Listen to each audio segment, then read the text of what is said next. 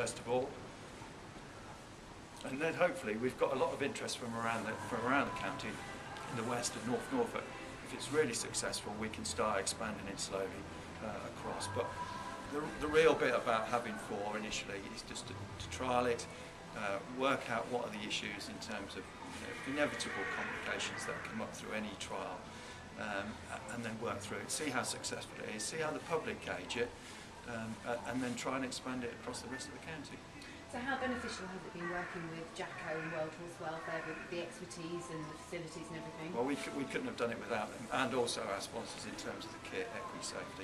Um, I I mean, this, this really has been a joint effort, both from special constabulary members, police community support officers, and from the people who supported us here today.